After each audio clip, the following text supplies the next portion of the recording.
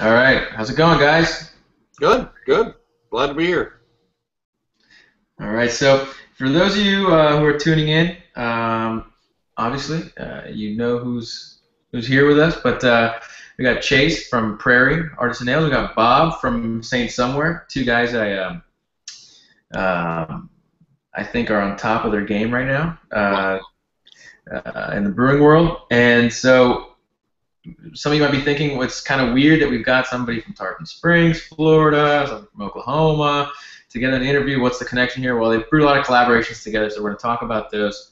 Um, and so I thought it'd be cool to bring them both in together, and they uh, very kindly ag- agreed to do so. Put through the ringer here tonight. So Bob, I want to start with Bob a little bit here. Bob, you're you're at Saint Somewhere in Tarpon Springs, Florida. When do you start up with? When do you start Saint Somewhere? Uh, 2006, which in, in the Florida craft beer world, that was like the that was the, the beginning of time. right. And what was what was the I guess what was the what, the draw to open up in a time like you said where um, you know Florida re- isn't really seeing much of a craft beer movement until probably only the last year or two. Um, well, I, I I was coming to a crossroads in, in my you know former life, former career, which was retail. I just couldn't couldn't stomach that anymore. And uh, know, I'd been a home brewer for about eight years, ten years, and you know, won some competitions and what have you that, that gave me a little little more credibility to come home to Ann and propose the idea. uh, the the timing was right because the even though 2006 doesn't sound that long ago, uh, when we opened, there were less than a thousand craft breweries in the U.S. And now there's uh, what 160,000, something like that. Right. 3,500, some somewhere ridiculous. So yeah, I mean, you, it allowed you to come in at, at the right time. Um, I think because you got you, had, you were able to establish yourself, and it's funny you mentioned I'd won some homebrew tournaments, and a lot of people now opening breweries up are like, well, you know, uh, my parents think it's good, my best friends always tell me it's good. Ah, I'm gonna open up a brewery. I've never won, I've never won shit. Literally nothing. I've never won anything brewing wise. I think well, you're doing pretty good. With, with that said, I've, I've never I've never entered any other competitions as a professional, just to, except the Florida um, the Florida Brewers competition, but you know no GABF or any of those. Chase, did you enter any competitions? You just got stiffed. I mean, we entered like we're in GABF this year, um, but I mean, really more just because it's fun, I guess. For us, where we are, you know, we can hop in the car and drive over to Denver and um, make a few days of it. So we entered just just for the sake of, you know, it's not too too difficult for us to do as far as you know planning geographically, going there, being involved. Um, it's not. It's it's pretty easy. I hear it's a blast. I, I, I was gonna go this year. I couldn't make it, but I, I hear it's a blast. Have you, have you been? Have you, both of you guys been in the past? I've never been. Yeah, I mean, I know for me the bi- the biggest part is really the events and stuff that goes on around it. Um, so you know, we'll be doing a couple different pouring events, dinner. Um, we we really have fun with, with the side events more than the, the, the big show. That's really you know become an event more for newer beer drinkers. I feel like, and then the cool stuff really happens around the around the edges. Yeah, sure. I've, I've heard that too.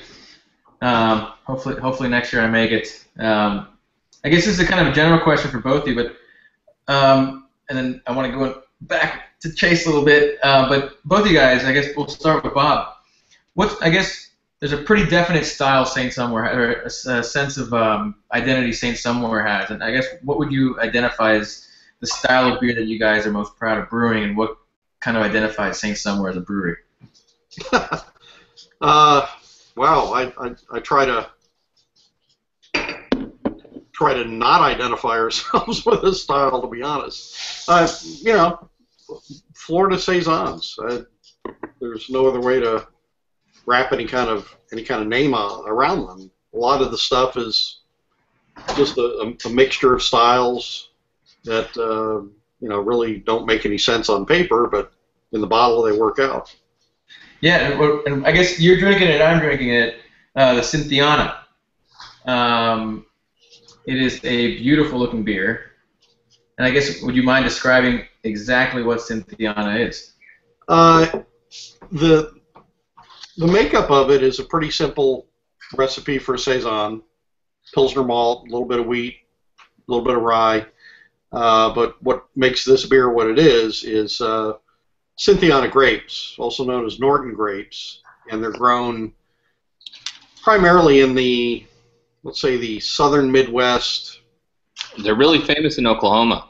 Yeah, they're thought to be the original North American red grape, from which all other native North American red grapes were hybridized off of, except for muscadine and things like that. That most people don't even consider them grapes. They're somewhere between a, I know, cherry and a grape.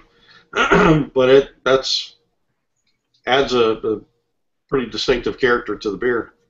Yeah, it's got it's beautiful. It's very I mean the smell is the smells phenomenal. You pick all that you pick all that up and the smell and the taste is it's fruity, it's bright, it's crisp. Um, you definitely have a little bit of the saison funk to it, but um, Chase, what are you drinking on?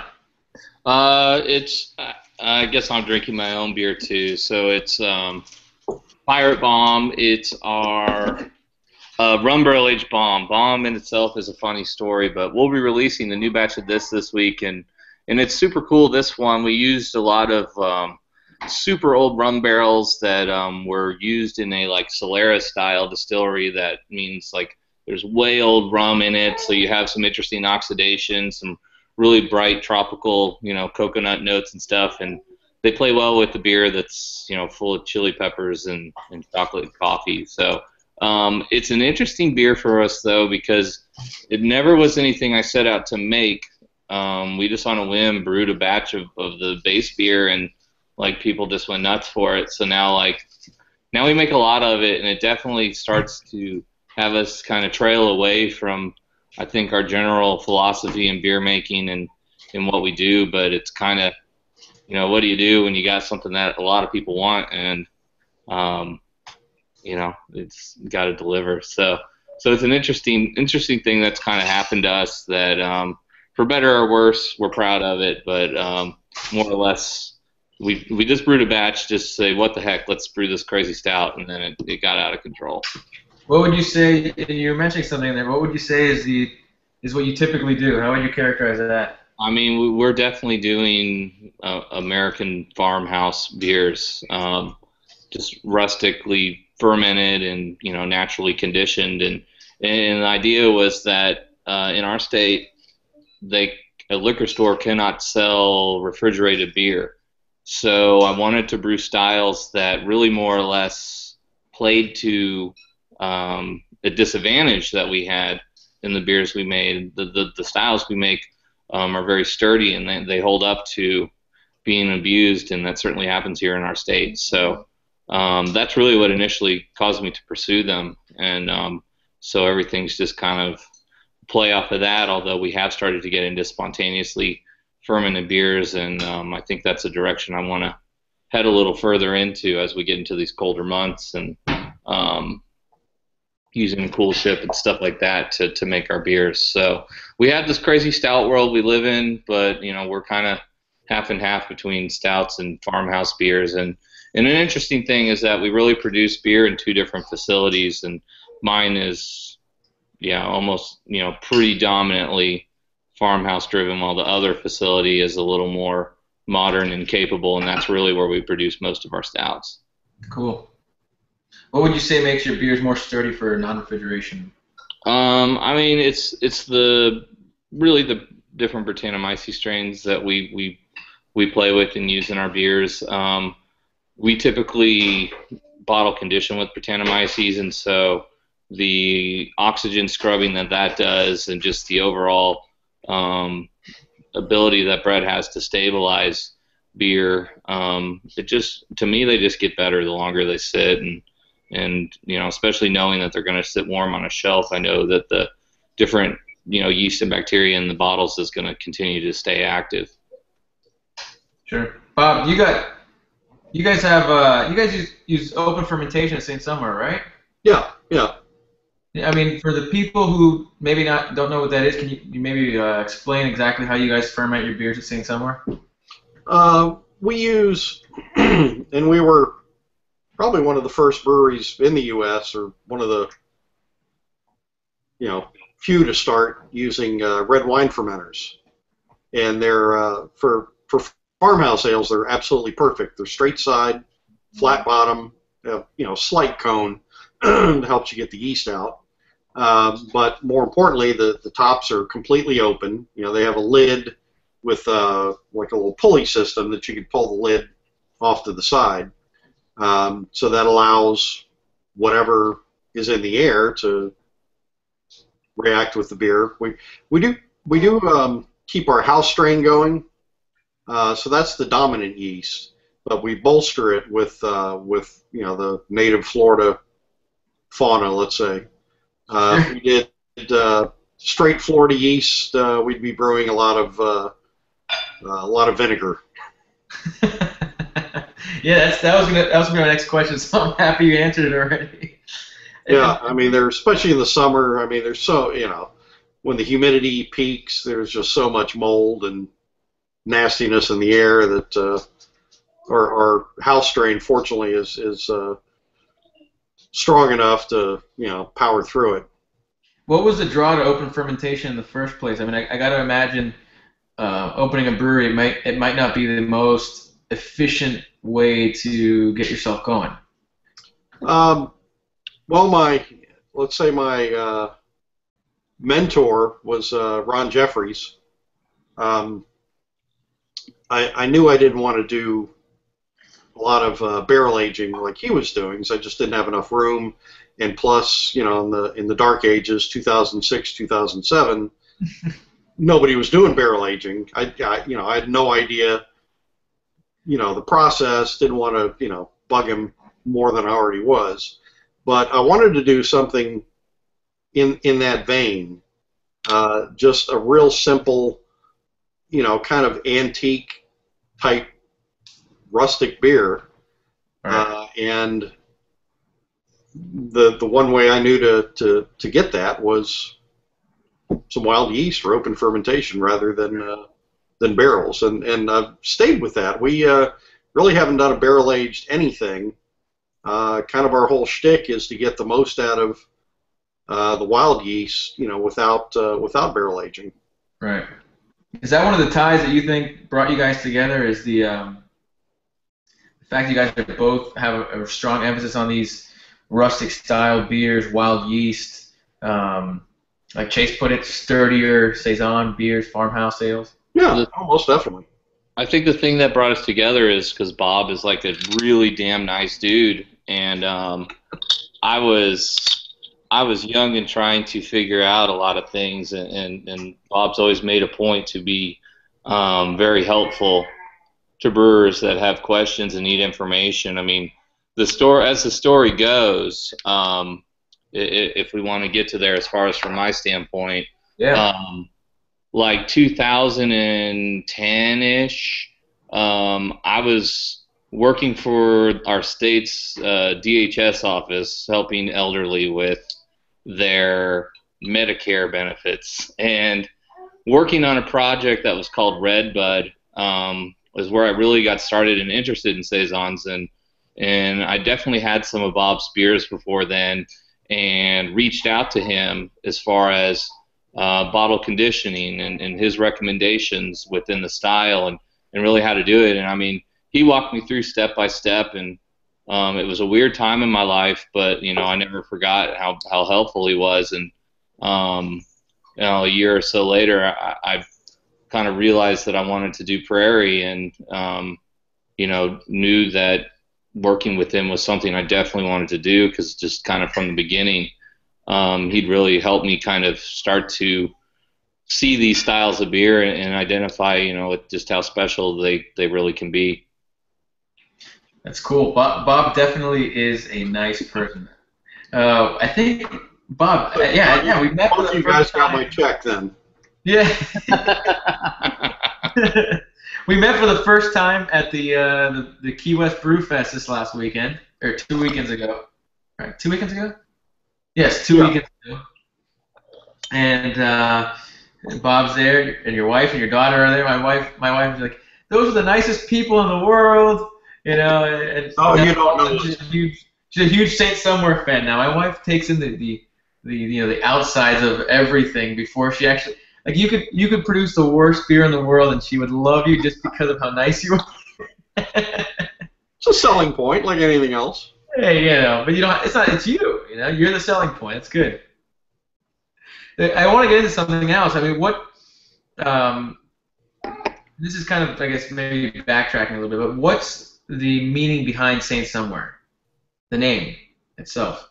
Um, well, when we were when Ann and I were you know putting everything together, um, we're we're both Florida natives and we're both kind of parrot heads, you know, Buffett fans. and Saint Somewhere is a line in a in a Buffett song, but it's not it's not the title of the song, so it's it's not uh, copyright protected. Let's say it's stealable. Uh, but it, it, it made so much sense with what we were going to do. Um, I, I knew at the onset we were only ever going to do Belgian farmhouse ales. sure. Um, and a lot of the Belgian breweries are Saint whatever. You know, they're either attached to a monastery or they just, you know, they choose the name. So the Saint part made sense, and Saint somewhere had the Florida tie to it, so that just kind of all fell together and worked. Is there not a brewery that uses your last name, like is, is in in France? Yeah, uh, well, it's it's Saint Sylvestre, so it's re on the end instead Oh, of. close enough. Plus, plus, I thought that you know it's yeah, that's a little little pretentious. Hey, I'm a lawyer. We can we can handle that. Says says the guy with you know Saint Bob on the back of his shirt. I've seen that shirt. That wasn't Shirt my, that was. I that think when I was there, thrust upon me. when I was there, I wanted one of those shirts, but um, I think I was too fat for any of the sizes you still had available. I didn't get one. oh man, Chase, where'd you come up with the name Prairie? Well, um, so Prairie, when I started Prairie, um, I guess I should kind of begin with the fact that an interesting link that Bob and I have is that we both sell beer um, to Shelton Brothers importers. And um, they help us get beer in little spots all over the country um, in a really kind of awesome way. Um, but when I was working on my Redbud project years ago, um, I had began to establish a relationship with those guys uh, back then, sending them beers and stuff. So they wanted to sell our beer. Um, and starting Prairie, I knew that was going to be a possibility for us.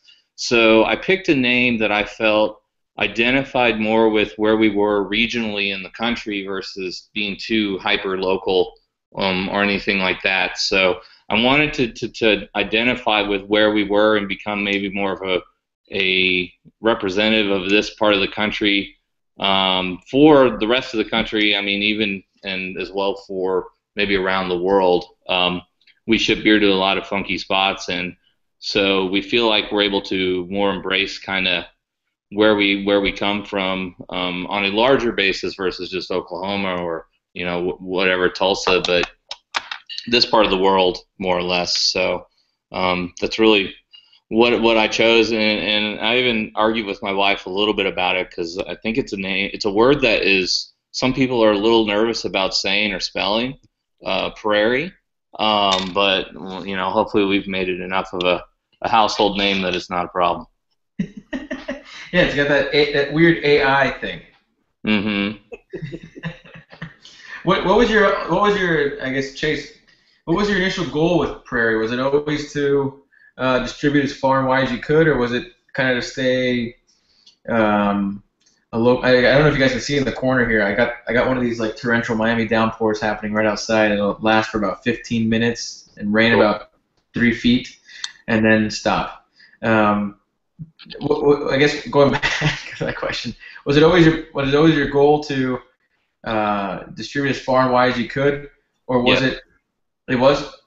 It was our goal. Um, you know, I wanted to use Prairie as a way to break all the rules in, in business, more or less, and just do do what was fun. Um, and not that that's not important, but we did it with the idea that if we could reach those places with a unique beer, um, we could like we could go to those places and and and live through our beer. So um, we sell beer in places like Australia and Singapore. Um, uh, other kind of like Brazil, you know, because we think that that it's awesome, and so maybe next year we go there and brew a beer or pour at a festival, and um, those people get to try something interesting, and and I think for me or my brother or anyone else involved, our lives are more enriched for getting to be involved in something on that kind of scale because um, it's not it's not a normal deal, you know, so. Um, that was my goal, and if it worked, great. And if not, I guess we could just you know come up with Plan B. But so far, it's worked. And since we started two years ago, you know we've we've left the country a few times for festivals and collaborations, and and um, those are good. And I suppose help the brand and people see it. But more than anything, it, it allows us to um, experience the world, and and I think it gives us a lot of interesting perspective to bring back to what we do in our facility here in the Midwest. Yeah, you guys are becoming brewers are becoming like modern day uh, rock stars. You know, it's like it's, It's pretty the fun. lines out the door of your brewery are are two blocks. You know, people wait in line at six in the morning to get the new releases. Uh, the festivals are selling out all over the world. I've noticed Brazil has a really big, uh, and they're really into American craft beer down there. I noticed, I guess, through social media sites. Um, have you noticed that selling to Brazil?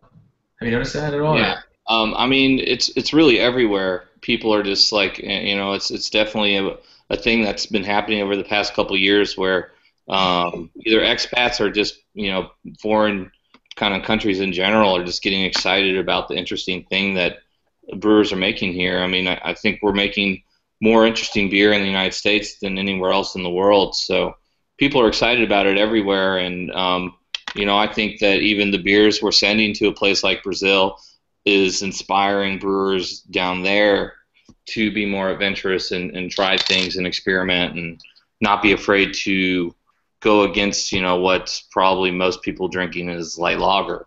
So um, it, it's just crazy to see that, like, what we're doing is actually influencing people when we really did it for more or less selfish reasons of just wanting to use use the company, you know, in a way for us to explore. It's kind of coming full circle in a, in a way that's very cool. It's, yeah, I mean, it's. I would do the same thing. Right. Bob, you distribute pretty widely too. Yeah, Right. um, not not quite as far as uh, Chase. Uh, Not mainly Thailand, because maybe. our production is you know very low, um, but that initially that was really out of out of uh, necessity rather than you know wanting to take over the world. Um, And that's. we I want to. I want to ask you about that. When I interviewed Wayne from Cigar City, um, Wayne was telling me they distributed to Europe before they could they could find accounts even in Florida. Um, What's what's that all about? Uh, Florida was a tough market. It still is. Um, prior to 2001, uh, there was a container size law where the only beer you could buy uh, had to had to be packaged in a 12 ounce, 16 ounce, 32 ounce bottle, or a gallon or more. So that eliminated 750s, 33 uh, milliliter, or I'm sorry, 330 milliliter. It eliminated pretty much every ex- import except for you know the AB stuff, you know the Becks and you know Molson and all that kind of stuff. So there there was no craft beer market until they repealed that law, and you know then there was just a just a flood of great beer coming in around 2002 2003. Um, so Florida is is still a good 20 years behind a, a lot of the country in uh, let's say they're they're not not beer education because there there are so many homebrew clubs and so many breweries opening. But I It, we, if you follow the legislative session this year, you know exactly what Bob's talking Yeah. about. let's say beer maturity. there you go. Uh, Yeah, um, Florida right now, for better or worse, it's better for some breweries and worse for breweries like me, is still in the uh, IPA, double IPA, imperial stout, and flavored beer stage. Flavored Um, beer. What do you talk? What do you mean by flavored beer? oh, man. beer with flavorings. Sorry. Uh, you know, your your peanut butter, lemon, chipotle, raspberry, you know, porters. oh, we're gonna get that. Anyway, when when when we hit the market, I you know, I I I had no plans of ever going outside Florida, and uh, we figured out like almost immediately that if we didn't go out of Florida, we were going to die a pretty short death. That's amazing. and around around that time when you know we are on life support, uh, I get a call from uh, a distributor in Philadelphia, and he was going to pick us up as kind of a novelty because his family is Greek, and Tarpon Springs is a giant Greek community. Oh, really? I didn't know They have a condo in, in Clearwater, so they thought, ah, you know, it'll be cool. There's a brewery in Tarpon Springs. We'll pick them up and distribute them a little bit. So I was all over it because I knew, you know, if we if we could hit Philadelphia, which is the Belgian beer capital, probably of the world now, probably even more than Belgium, uh, you know, things would would explode. So we we did that, sent them beer. Uh, from there, we were picked up by uh, a big distributor in New York that that uh, covered the five boroughs, just because of the exposure in uh, Philadelphia, and then uh, we ended up with uh, Shelton Brothers, and you know that that saved us because we we would have died, you know, very early on. Um, I remember, you know, a, a big month before that, uh, you know, just, uh, we would sell maybe 40 cases in a month, which Right. was, you know, definitely not enough to pay the bills. Fortunately, I was still working full time at another job and running the brewery. But uh, yeah, it was it was tough uh, first few years. Yeah, that's. I can imagine it's a lot of pressure. And I, I have my own business too, and it's, it's, it's crazy. It's crazy. You, kind of, you almost kind of wish you had that fallback in the in the beginning, Yeah. like another job. Chase, did you have any of that? Did you did you have a uh, did you start Prairie all in, or did you have a uh, you started kind of like one of these part-time breweries, and kind of just all of a sudden you're like, whoa, I have to brew full time to to make this thing go. No, I went all in. So the biggest thing for me is like um, the Redbud project I did half-assed and had another job, and um, it really took my my mom and my wife pushing me to just go for it because because I had been freaked out. Like I kind of went and got hired for a job to be a brewmaster down in Dallas, and we moved there and kind of realized that like starting a brewery for people that know less than me about beer but still have the courage to do it is um, you know why am I helping them out when I just need to be doing it myself? So kind of that, and then my family pushing on me. I was like, well, for this time, why don't I just completely go for it and kind of see what happens? And Sure. uh, so yeah, um, I don't know. the Last uh, I haven't been employed by someone for about two and a half years now or so. So it's been kind of cool. Feels good. Yeah, it is. It's You not know, going back. you know yeah you, there's no I, yeah I, I think about that because like i'm just like i'll be such a bad employee for anyone that hired me so Right. i think Right. about that and it's like i really don't need to screw this up because like going to work for someone else just like would not work Man, after you work for yourself, there's like, how can you sit there and take orders from someone? well there's there's ups and downs though i mean that being said um you know guilty of being a workaholic from here and there and spending my days off you know we're we're building out a new farm place and i'm out there running the tractor for all day so um you know you can stop when you want to but it's hard to stop But it's got to be easier. For every brewer I've talked to, um, we talked to got any, anywhere from Night Shift up in Boston, Vince Tercy, uh, Wayne, Cigar City. Uh, I mean, any brewer. They love what they do. It's kind of like your day off spent working on your brewery isn't necessarily uh, a bad thing, or is it?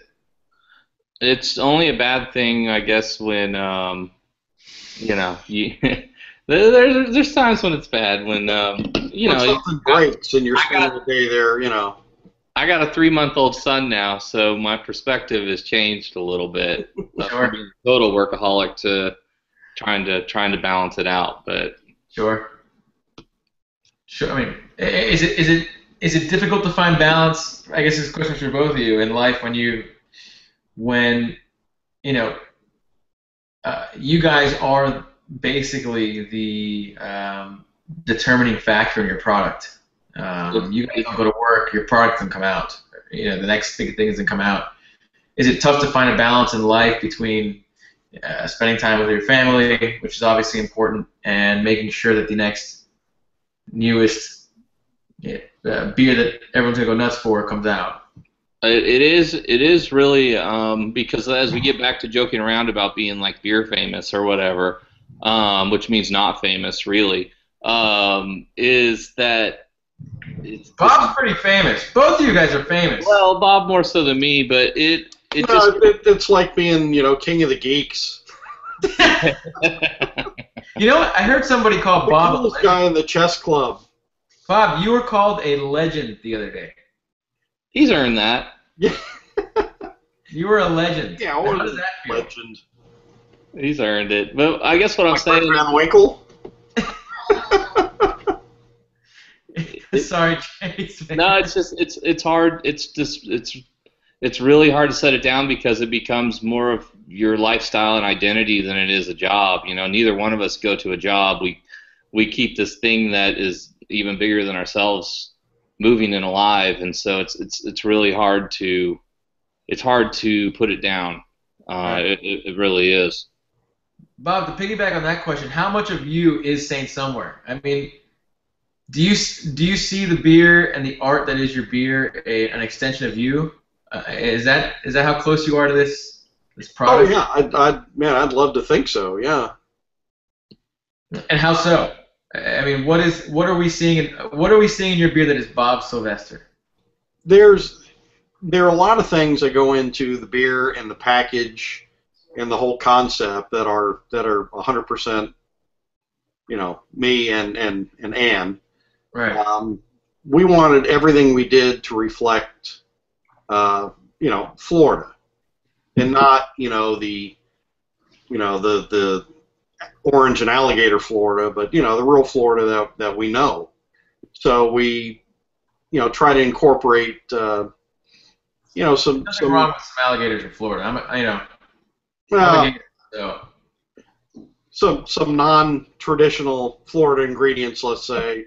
Um, you know, we were nobody was brewing with hibiscus other than uh, Dieu du Ciel. That was the only hibiscus beer ever. So we, you know, we did a beer with hibiscus, uh, saw palmetto berries. Uh, you know, we try to use as much Florida as we can, and even into the the, the labels, uh, the names of the beer. Saison Athene. Um, well, first off, all of our beers, we uh, we try desperately hard to name them things that no one can pronounce. Athene, we get, you know, it's it's it's always Athens, uh, Athena, Athene, you know, they, they gets gets butchered all over the place. but the the name Saison Athene, where that comes from, is uh, a couple of things. Uh, it's a somewhat of a tip of the hat to Tarpon Springs, which is a giant Greek community, but it really is part of the uh, scientific name for the Florida burrowing owl, which is a little owl that lives underground. Uh, Athene cunicularia floridensis. Huh. Um, you know, Cynthiana, the grapes are grown in Florida that, that we use. We, we try to, you know, the wild yeast, the, the Right. big part of that in the open fermentation is really to just get as much Florida into each beer as we possibly can. Why is that so important to you? You know, I, I I appreciate it, but but why is this such an important thing to create a Florida identity in your beer? Uh, I because I didn't want to do knockoffs of, of Belgian beer. Uh, you know, I wanted to brew in, in that spirit, but I wanted it to be, you know, our own thing, and we wanted to have a, you know, a, a focus. And I, man, I, I, I love Florida. I love living here. Uh, it's a very misunderstood state, except by the people who, who live here. And, uh, it, it's, you know, it's a cool thing. It's very true. We were talking before the interview about how different different regions are in Florida, but everyone just kind of gets it. Yeah. You know, it's weird. Yeah, there's. I mean, you could you could split Florida down the middle, you know, through make Orlando the the center, and uh, the West Coast, where I am, is uh, predominantly Midwestern, Ohio, Michigan, uh, you know, even as far north as Canada, and uh, you know the East Coast, where you are, is predominantly New York, New Jersey, Philadelphia. It's you know Eastern Seaboard. Right. And uh, not by chance, but 75 comes down on this side. You know, 10 and 95 comes down on your side. Sure. And it, it just that's where people landed. That's where they went. Sure. Now, I notice you guys have a lot of um, history and and then there's a lot of cool stories behind the names of all your beers. Was that a purposeful thing? Like Surge, um, for Bob, Surge is, uh, you were telling me the whole story about Surge. I think it's a cool story. I want you to tell not myself. But um, is there is there a big is that, is that important to you to incorporate kind of these references in your product? Yeah, absolutely. Because that, you know, I, I spent enough time in retail to realize that you know the product yes has to be good, but if the if the entire package is not good, then you're you're wasting your time. Um, so that's you know that goes to the labels, the bottles, uh, you know the package, the presentation, the whole thing. Sure. Um, Surge, I, I deeply identify with Surge because he does a lot of things that I, I would want to do, but you know know better. Uh, for most people out there aren't going to know who Surge is. Surge is a character from uh, Tim Dorsey novels, and he's written, I think, 15, 15 or 16 um, novels about the antics of, of Surge and his sidekick uh, Coleman. And uh, Surge is just kind of a loser, you know, drug-addled, you know, vagabond kind of guy that uh, kills uh, bad people, people that do, you know, bad things to, to Florida, the you know, the environment, uh, yeah, bad things to other people, and he uh, dispatches them in all kinds of uh, interesting ways. And uh, we, I, I, I tried for about a year and a half to get a hold of Tim Dorsey, the, the author, and he, he just wouldn't wouldn't reply. So I was going to change the name of the beer to something else, and uh, Anne said, no, just stick with Surge. You know, we'll bite the bullet if you know comes to it, we'll change it. Again. So we, we put the beer out, and like immediately, I get an email from Tim Dorsey, and he's like, "I heard you put a beer out called Surge," and he was he was thrilled to death. I mean, he couldn't believe it. That's awesome. More openings. He did book signings, and uh, yeah, Surge is uh, Surge lives. That's cool, but only for one more batch. Yes.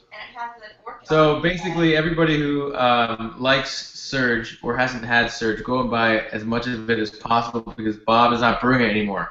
and and the uh, the label, um, what's on the label of Surge is a ghost orchid, which only grows in a couple hundred acre patch of the uh, Strand in South Florida, and it, it played into one of uh, uh, one of the Tim Dorsey novels where Surge was involved in looking for a ghost orchid. That's really cool. I see that these are things that I really find uh, you know interesting, and you've tied that into the way you brew the beer too, and the style of the beer. Yeah, yeah. Surge is a black saison, which is you know black. We, we, we say it's black like Surge's uh, soul. There you go. Chase, you guys over there have a cool story behind your labels and um, your brother does all the labels for your for your for your beers, right? Yeah, it does. Um, it's awesome, you know, working with my little bro. Um, he finally graduated from college here about a month ago, so he's there every day now, full time, and we get to sit down on Mondays or even today. We sat down and caught up about the just laundry list of forever things that I need him to do because I mean, all we do is make new beers and play around. So he's just always busy with stuff, but that that was a big point for me is that we started Prairie, and, and when we started it, it was a big deal that my brother would be involved.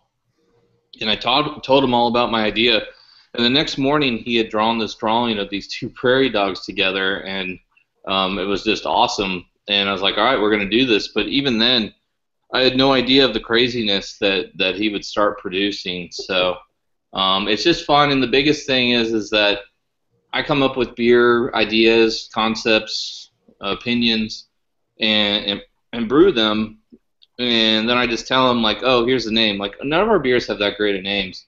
Um, I usually pick something rather plain, but he just takes that idea and transforms it into something visually that I could just never do. And, and the thought is that I don't really tell him what to do, and he doesn't tell me what to do, and in the end, we create a product that is an expression of mine and and of his. How does that work? There's got to be some sort of an image that you're you're picturing when you're when you're coming up with that beer. No, I just gotta let it go. Um, sometimes I'll help him brainstorm, but I think I just have to accept the fact that if we're both going to have the point of view and the product, then I need to let him do what he wants to do, and, and I may not even necessarily agree with it on some things. We have a beer that's like the most elegant, beautiful beer I've ever made. It's it's a, a collaboration with Evil Twin that's uh, like 100% spontaneous, like lambic style beer, like um, and we we we cultured it in the in the metal metal uh, thing that was in the back of my pickup truck, and so it's called Coolship Truck. Um, but instead of like this elegant label that was maybe like not graphic heavy and just kind of pretty, um, it's like a scene from Mad Max. And um, completely not what I would have wanted. Um, but I had to embrace the fact that that's that's him kind of even playing to that idea of let's take something that's elegant and turn it upside down on its head, and and and so so I just embrace it, you know, because I think for him it's it's it's art for him, um, and and um, you know if that's what he wants to do, then then we roll with it because I, I think we would we wouldn't be honest to our, our goal. I think if if if I had to edit him too much. I like that. I think that's craft beer at its core. It's uh, doing, you know, like Bob, doing these traditional Belgian styles, but making them Florida. And you guys are doing a traditional, classic, beautiful style and putting this crazy artwork on. It. I've seen the artwork. Um, I think it's well, really cool.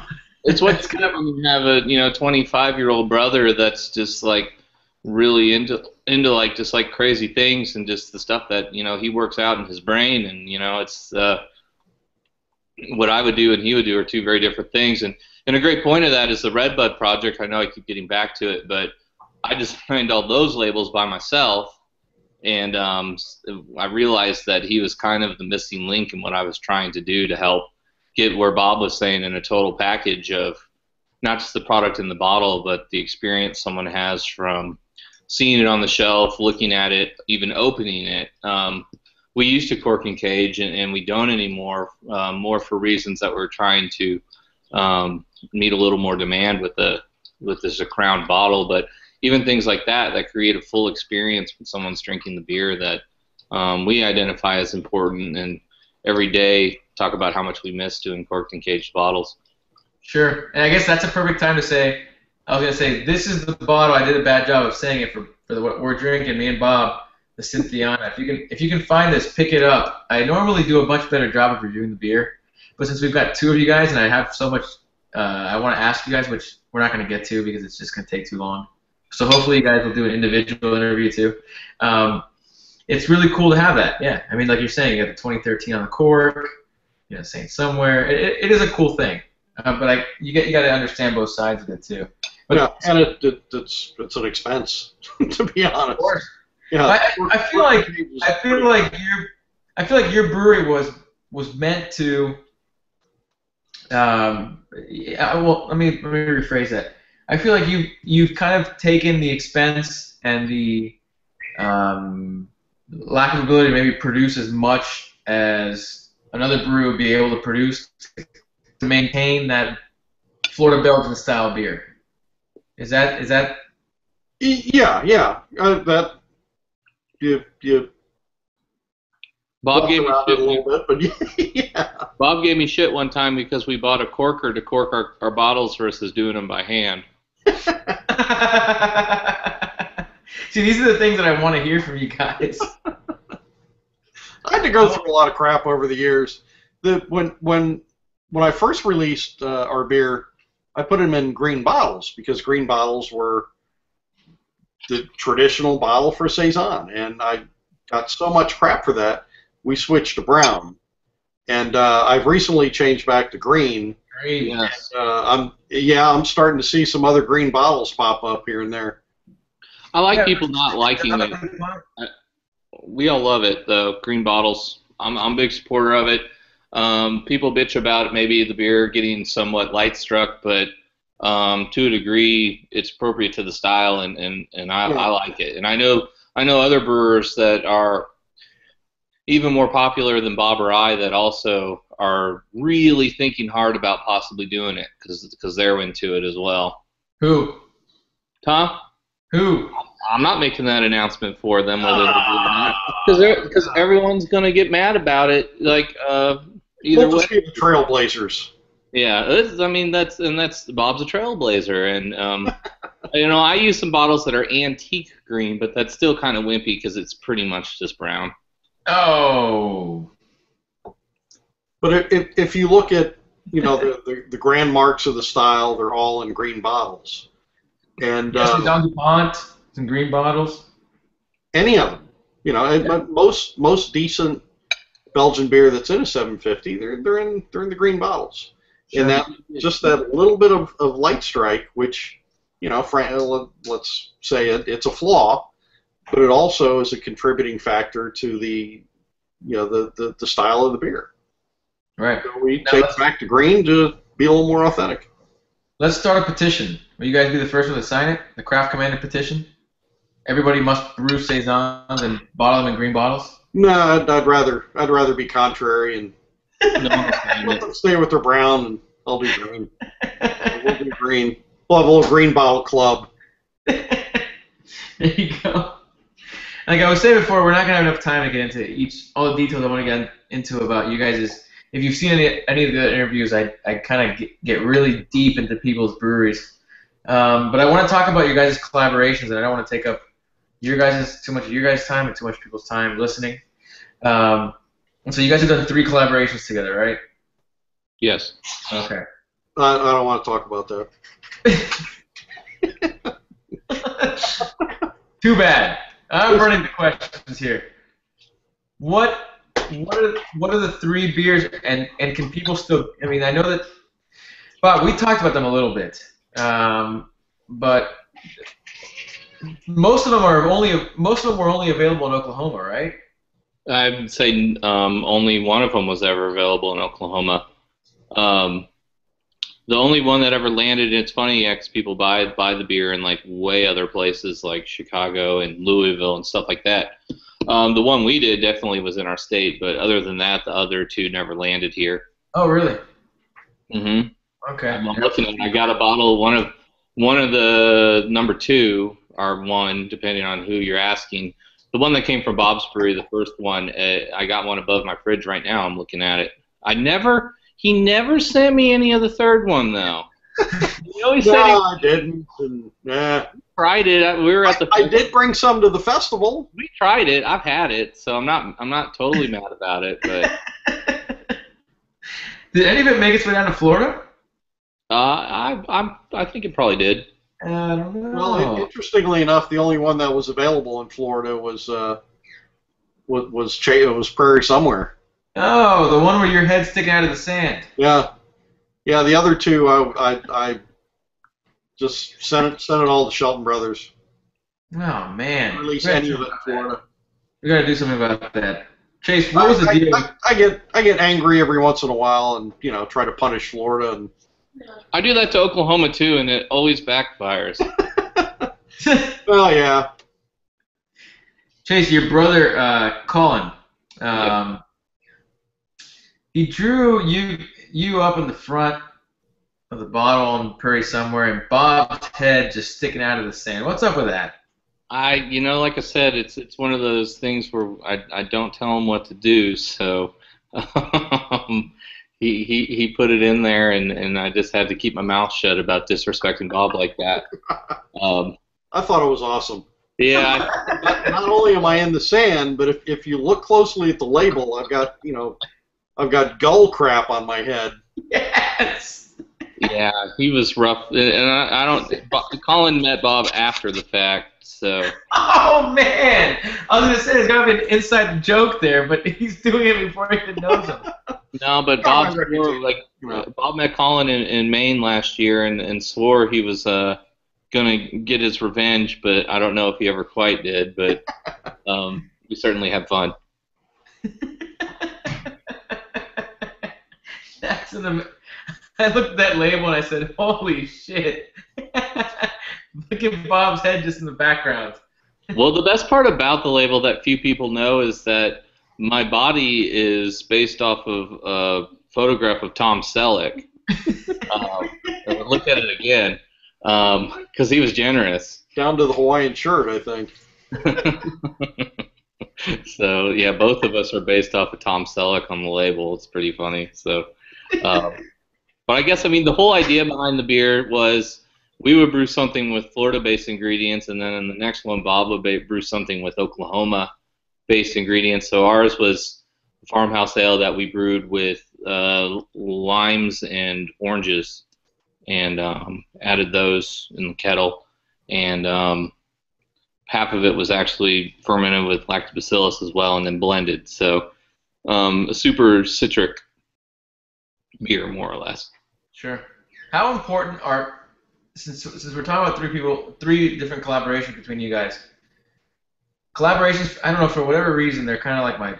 I love collaborations. The idea behind collaborations, but how important are they um, to craft breweries? Uh, you know, is it is it more of just a this would be fun to work with this guy and uh, he was so great as I was coming up. Let me work with Bob, or is it is it something that you guys um, that that a young and aspiring craft brewery should do because it, it's you're not only learning something, but you're associating yourself with somebody that you should associate yourself. I mean, the idea behind a, behind a collaboration. That's for some reason I'm always interested by that. I think first and foremost, I, I would never recommend anyone do it for strictly for marketing reasons. Um, you know, I, I had my own personal ambitions and just my admiration for Bob to work with him. Um, you know, and, and never really had any thought of, oh, if I tie my name to him, like it'll help us sell some more beers or something like that. I mean, it comes from us as more artisan brewers just caring to share our craft and, and our passions with each other versus you know we share the beers with everyone else but you know our, our passion to brew the beers is a whole separate deal Bob, what about what, what about your take on collaboration? I don't know why, but collaborations to me are so interesting. I love seeing different breweries come together. Um, I'm, I'm sure there are some out there that, that are about marketing. You know, you see some of these, you know, collaborations with, you know, somebody that died 20 years ago or, you know, an actor that, uh, you know, to me those aren't collaborations. That, that's Sure. marketing. But you know, the real collaborations. It, it like Chase said, it, it it's just fun. You know, it, it's a fraternity, and uh, you know, you want to see how somebody else, you know, gets to, you know, the the the means to the end. And uh, I, I I don't think Chase learned anything from me. I think I probably set him back ten years. uh, But we, we had a good time. Actually, it's a it, it, it, it really he is was going to stay two days longer, but uh, we the the old man wore him out. And he had to leave. yeah so, so as the story goes Yes.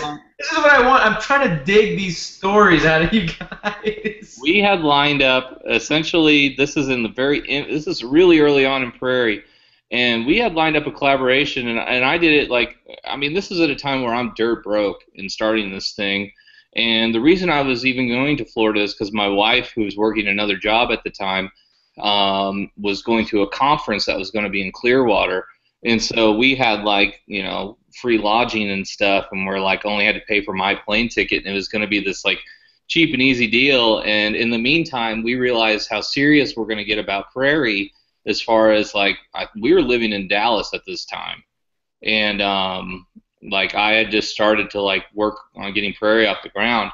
And um, in the meantime of her booking this and planning it, she quits her job knowing that we're moving back to Oklahoma to just have you know Prairie go full bore. So she's out of this trip, but yet I've still got a plane ticket and have made plans. Um, and it was also conveniently um, like right in the middle of it being spring break. Um, so there's computer's about to die here. Can you help me out? Um, sorry a little assistance. So I, I'm still supposed to come down there, but there's like nowhere to stay because it's spring break, and this is a great place to go for spring break. Um, so needless to say, uh, Bob's able to find me a space in a bed and breakfast that's um, it's like medieval themed. Um, and it, it, it was with a housefrau. Yeah, and this old German lady runs it, and needless to say, I went down there without my wife, like just to just go figure this thing out. And um, you know, Bob certainly showed me a great time. And, and, and it's funny, the place I miss most is the uh, the boat club, which is a pretty unique bar in itself. But so it was certainly talk about the boat club. It's like Fight Club. uh, there was this one place we liked. It was a lot of fun. Uh, about that. No, uh, boat, boat club's fun. It was great just getting to work with him, and um, even even when we go to places like this, it's like with their community and stuff. Like he took me to the sponge docks, and um, you know we ate at this you know one of the spots there that does the seafood and a lot of stuff just right out of the water there, and um, so beyond the time hanging out in the brewery, it was kind of getting to experience a little little piece of his world um, outside of it, and and it was an unusual circumstance for me as um, I came down there really with nowhere to stay, and um, he took care of me and certainly showed me a good time, and and from it, you know, we've we've we've become come buddies from it for sure. It's cool. What this is this is completely changing the subject. Sorry, um, but both of you guys, what is the favorite beer that you've brewed so far? I know Bob's answer to this. Um, and then what can people who are fans of your breweries look forward to in the future as far as a beer that you've conceptualized or already brewed that haven't maybe haven't announced um, that is your favorite upcoming beer? I guess we'll start with Bob. Um, well, I've, I've been the uh, the boy who cries wolf for like a year and a half now about moving. Uh, we keep you know getting on on the edge and then you know pulling back. We're in between two different locations and waiting for one to change, and so everything's kind of in limbo. But once we do move, uh, I'd like to invest in uh, in a couple of foeders and God help me, a couple of conical fermenters, and I want to do, you know, hardcore bière de garde. Put a beer in a fermenter and let it sit there six months. Um, you know, just let it let it cold condition like a traditional bière de garde, and uh, you know, bottle condition it as, as normal and let it go from there. But the yeah, the the foeders I'd, I'd really like to do because they're Good barrel luck. aging, but on a bigger scale, and they're sure here to clean and deal with. Sure. What about the what about the favorite beer you've brewed so far? Um, probably Cynthiana. I, well, that's a seasonal. My, my favorite beer out of the whole whole portfolio, uh, I, I'd have to say like Lectio Divina, which is confusing beer because it's it's a recipe, just spot on recipe for a Belgian double. Um, you know, akin to, you know, Westvleteren 8 or, you know, St. Bernardus Prior 8. But I treat it uh, as a Saison. Um, low mash temp, Saison yeast, high temperature fermentation. So it, you know, you get you get a little of the uh, the double aroma, but you also get the the Saison thing going on, bone dry finish. Uh, that that's that's my personal go-to beer of mine. Um, I usually drink everybody else's beer more than my own, and that's the same with most breweries. Yep. You, you get tired of your own stuff. How much inspiration, before we go to Chase, how much inspiration do you draw from everybody else's beers? Is that something that's influential in what uh, you're, you're dreaming up next? Me or Chase? Yeah, before we go to Chase, Oh, you said you drink most people, uh, mostly you drink other people's beer. How much of an inspiration is other people's? Uh, um, hugely. Um, I, I, I finally did, you know, decent pilgrimage to uh, Belgium and France last year, and it, you know, it was, you know, let, let's say being reborn. Uh, you know, I, I, I knew the direction we were going in was the right direction, but uh, just the the whole thing. I mean, the the community, the it really really focused me into where we want to be. Sure. Um, you know, and and also got to brew, you know, a couple of pretty legendary breweries that uh, you know I would have only have dreamt about ten years ago. Um, you know, hugely inspirational. That's you know, beer church. Hallelujah. Which ones? Which ones? Uh, Thiriez, uh, Daniel, Daniel's uh, the man, and uh, Brasserie uh, Cazeau, Hmm? which is not as well known, but I, I they do their saison Cazeau to me is is probably the best or definitely one of the best uh, in the world. It's fantastic. It's uh, just straight up saison with uh, elderflower, which you know I is close to me because I brew with elderflowers, and I felt right at home because they were just an old, backwards farmhouse brewery that you know I, I Chase can attest to it. You know it, it's it's like brewing in the Stone Ages at Saint Somewhere. You've got to have chairs in certain places to have the hose hanging over, and uh, they were they were the same way. And I'm like, man, I, this is I, I love this. Uh, this is me. That's really cool. Chase, what about you, man? What's your favorite beer you've brewed so far? Oh wow! I mean, it's our first beer, Prairie Ale. Um, Oh, I love it.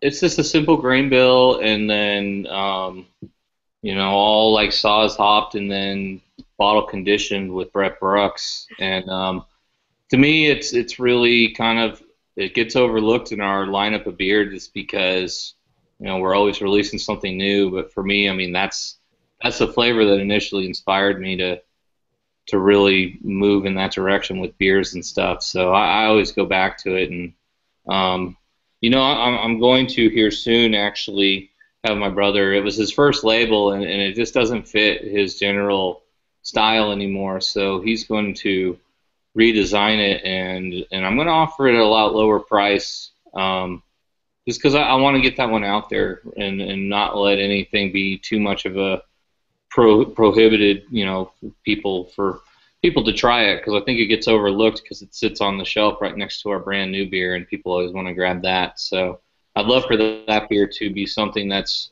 much more part of our culture and, and, and our brewery than than it is, and so it's it's definitely my favorite and one I cheer for, and um, so I'm going to make efforts to revive it. And I don't know that it even really needs it, but I figured I might as well um, see if it makes a difference for people, you know, because it's a beautiful, it's an elegant beer. Where a lot of our beers are more or less can sometimes be statement beers, where there's one underlying um, really intense note to it, and um, that's fun. But to me, that that's that's the one you can open every night um, and, and and really enjoy. And and it kind of more, I think, harkens back to some of the um, more traditional Belgian and French um, farmhouse beers, more so than my others. So that's why I kind of feel about that one. Yeah, it's a phenomenal beer. Now, is there any spoilers for those people who may want to know what Prairie's going to brew in the future? The stuff well, that you're right, conceptualizing. Right now, we have a like a more or less like a Belgian strong dark that we put as of yesterday into large sherry casks, um, which are just amazing. Uh, you know, oxidized raisin and almond, really great flavors from the barrels, but one thing we are able to do when we did our coolship beer was more or less capture that culture, and we're calling it our cowboy culture.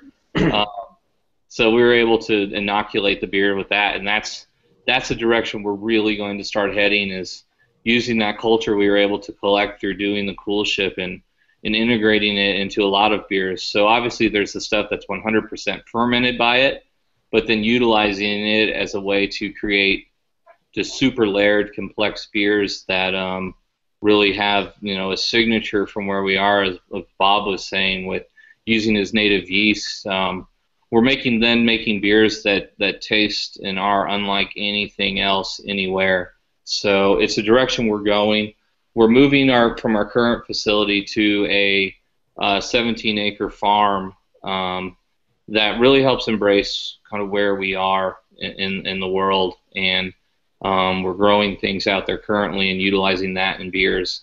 And cool. I think focusing on, on a word that I use lately because because we're experiencing a lot of growth, and sometimes it's really challenging for me to to stay true to what we I set out to do because um, it's appealing to chase other things and, and do stuff and um, staying true to what we do is a challenge sometimes. But I feel like moving out there is going to get us closer to that and, and, to what I believe is something that's truly authentic, where it's easy to sometimes get into this, you know, mode of doing a lot of different beers and things that can sometimes just be kind of like your interpretation or copy off of something someone else has done. And sure. um, it's easy and it's appealing because you know the thought's already done in it, but for us moving out there and focusing more on the flavors that we can make, you know, naturally versus just, you know, coming up with stuff that's already been done is, is really a direction I need to need to head just for more of a personal personal reasons rather than business reasons. Because, you know, we didn't ever set out to be something too huge. And unfortunately it's kind of started to go that direction. And I need to reel it in and, and being out there will certainly help with that. I, I can appreciate that. I think that's why people are drawn to your guys' breweries so much is that you can taste in the beers that you're drinking that come out of both of your breweries that there is a definite um, intention to stay true to, um, to true to authenticity. Uh, uh, I guess we could put it that way. There's a definite, you know, when you drink a Saint Somewhere beer, you drink a, a, a Prairie beer. You're you're drinking something. You say, "Wow! I mean, this is this is not uh, something that is ever meant to be completely mass produced. This is this feels right. Uh, this feels like I can taste Bob and Chase's hands in this beer. Um, is that kind of the intention that you guys both wanted uh, when you set out to start a brewery? Um, was it always we've got to maintain this identity? We've got to maintain uh, uh, uh, that. I guess the I guess the word that you both are using is authenticity it's it's two different things for us really because Bob is entered doing his brewery, you know, at a different time point in his life than than I have, and so when we get down to like the realness of the situation is is that I started Prairie at like 27 years old with zero money, and so it's appealing sometimes to make stuff that I can just sell a ton of and help build our company and make money and um, so that's hard for me to stay it's harder i think probably for me to stay true to our roots and what we're trying to do than maybe it is for Bob. But I know visiting his place and then visiting a place like Jester King um, or even a place like Hill Farmstead, um, I could feel the authenticity in what was being done. Um, and so it's something we see in other breweries and strive for um, because for us it's it's easy. Um, and I say us, it's really me. It's easy to sometimes lose focus of that. So um, kudos to the, all of them for being able to, I think, accomplish that. Right. And it, it frankly, it, it's it's tough in this market because there are so many flavored beers. Let's say Let's call let's call them like I said like I've said in some of the articles No. on my, on my website. non non-authentic. Gimmicky are, beers. you know, they're they're killing it. You know, they're Right. you know selling like like gangbusters, and I'm I'm a I'm a huge proponent of that, and I've I've never hidden that fact. Uh, I think you know we're we're where craft beer is right now.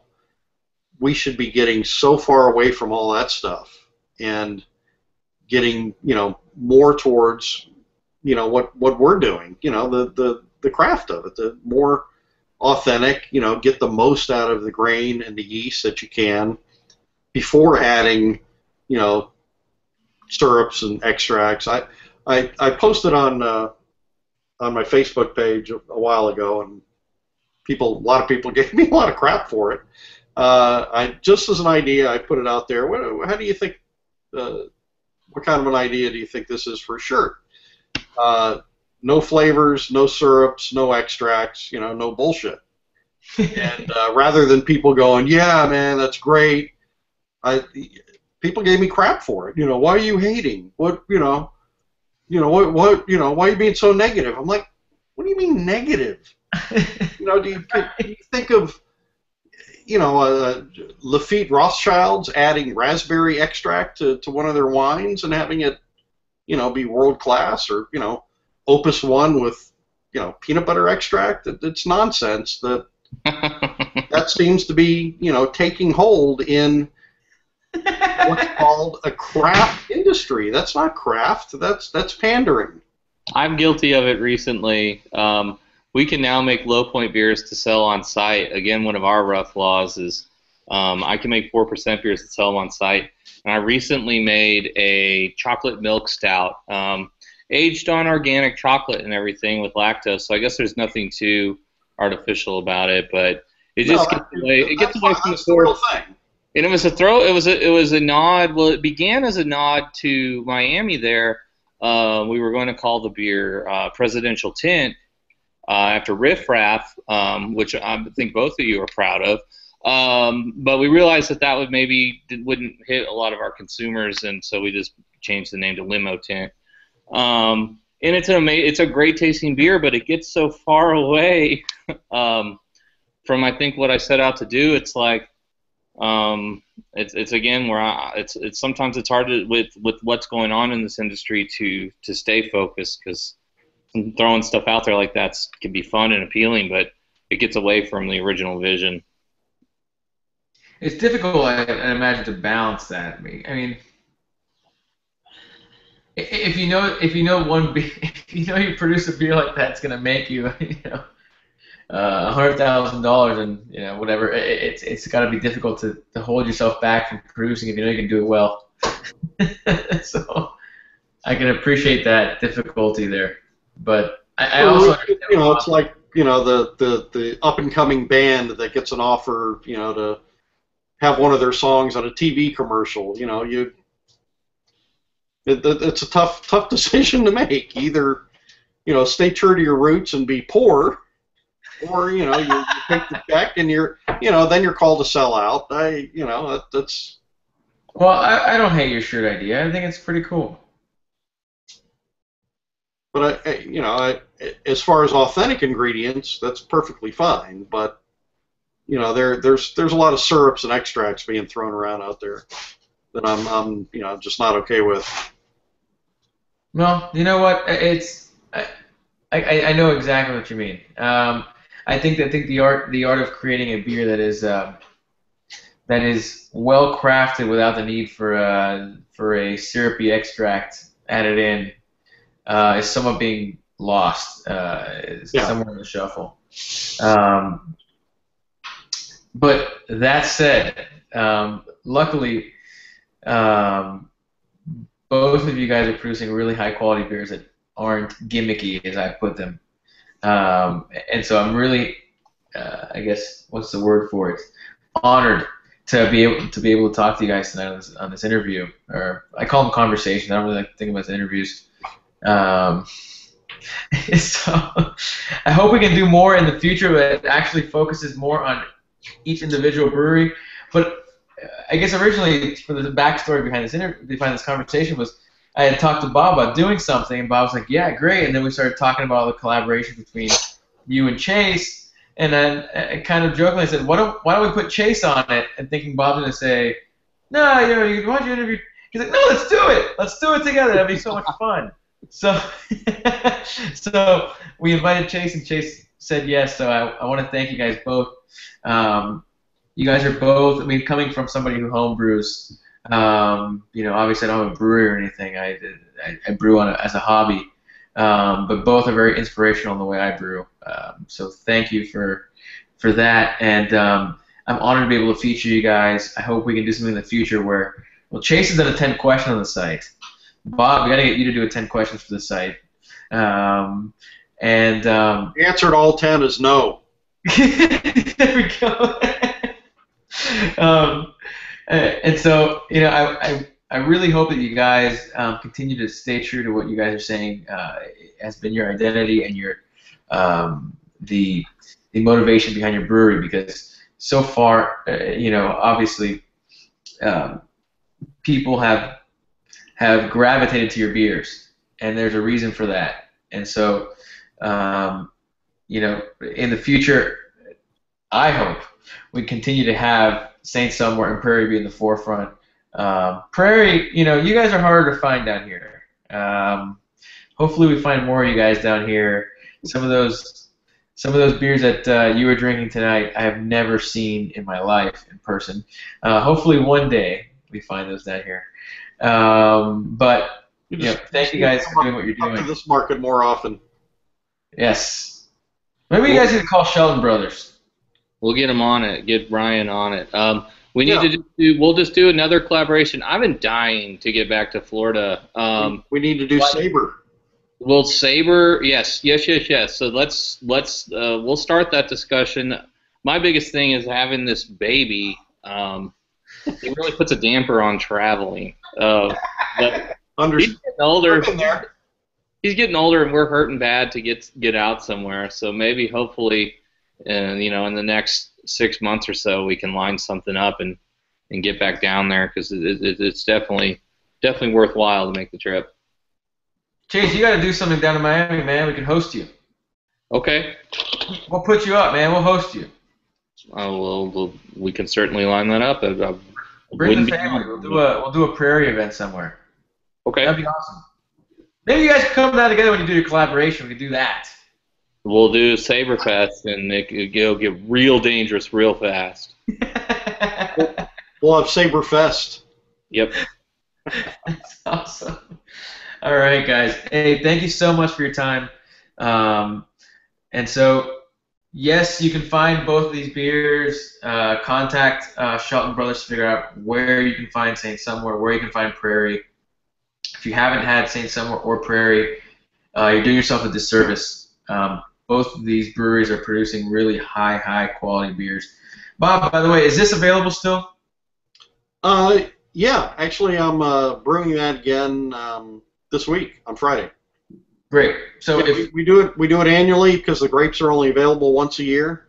So uh, 2014 will be out yeah, in about a month. Great. So if you haven't had this beer, um, drink it. Uh, find it, drink it, and, and basically, if you can find Prairie down in Miami or anywhere you can find, pick up a Prairie beer. Do yourself the service, picking up a Prairie beer and trying that because they're they're out of this world. Both of you guys are doing awesome things. Bob the legend, you know. Uh, so, guys, thank you so much. Um, hopefully, we do something in the future, and have a great night. Cheers. Thanks for having us. Cheers.